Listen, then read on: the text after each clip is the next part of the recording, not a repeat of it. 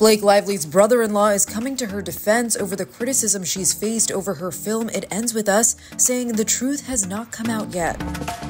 High School Musical actor Bart Johnson, who's married to Blake's older sister Robyn Lively, responded to a comment on his recent Instagram post where he shared a birthday tribute to Blake. The comment read, Shame she's so set on promoting happiness in a domestic violence setting without any regard for any victims. Disappointing from Blake.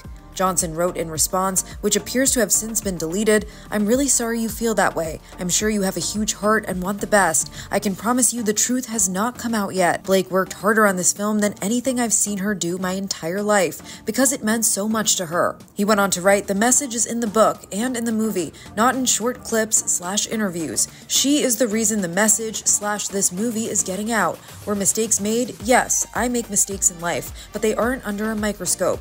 Anyway, I respect your views. I got nothing but love for you. Blake starred as Lily Bloom in the film adaptation of Colleen Hoover's 2016 book and also served as a producer. However, since the film's release on August 9th, the actress has been criticized on social media for not being vocal enough about the story's sensitive topics of domestic abuse and toxic relationships, and instead focusing parts of the marketing campaign around the film's florals. She also faced backlash for her cross promotion of her new hair care brand, Blake Brown, during the film's press run.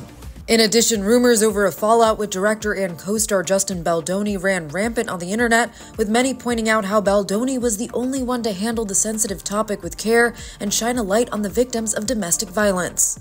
For more on this story, head to THR.com. And for the latest entertainment news and updates, keep watching the Hollywood Reporter News.